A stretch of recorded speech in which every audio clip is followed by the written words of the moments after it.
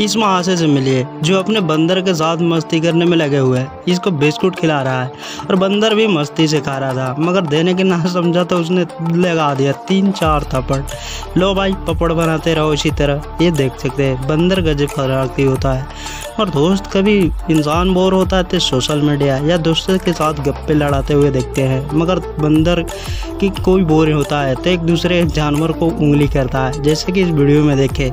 इस जिराफ को देखिए। जिराफ कितना शान से अपने घस को हरी हरी चटा है। मगर ये गंडा कहाँ का मरने वाला है? उनको शरारती कर रहता है। लो भाई, उनके मुँह पर ऐसे लात मारता है कि उनकी तोबड़ बन जाती है और वहाँ से धूम दबा के नौ दो ग्यारह दोस्तों, ऐसे जानवर के आपने कभी हरकत देखा थे या नहीं? अपना कमेंट और राय ज़रूर देना।